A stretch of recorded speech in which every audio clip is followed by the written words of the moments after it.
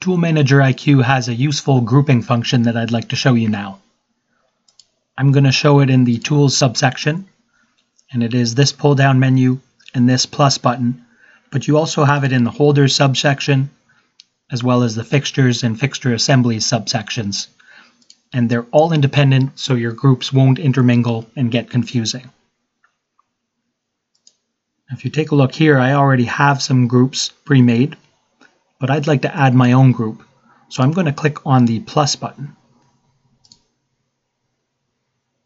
The first tab is for making groups. So I'm going to go ahead and make a new group with the new button, give it a name, and save it. You can see it goes in the list, and that list is sortable. There's also a rename button and a delete button for managing my groups. And once I have a group, I can go over to the second tab to assign tools to it. The first thing I want to do is choose that group in the pull down menu. Anything in this side of the list will be in that group and all of my tools available are going to be in this list. And to carry them over, I can just pick one or as many as I want and press this button here to put them in the group. And to take out of the group, I can do the same, pick one or more, and press this button to take them out of the group. I'm going to add a few different tools here, and that will be my tool list in my group. If I close this, and I go ahead and choose my group in the list, it only shows those tools. The naming is up to you. So whether it's by the machine that the tool goes to, or part number, or anything, you name it what you want. Any tool can be part of multiple groups.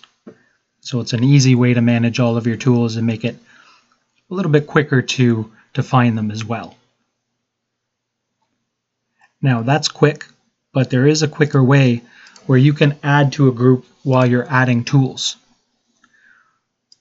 I'm going to add these tools from GibbsCAM directly.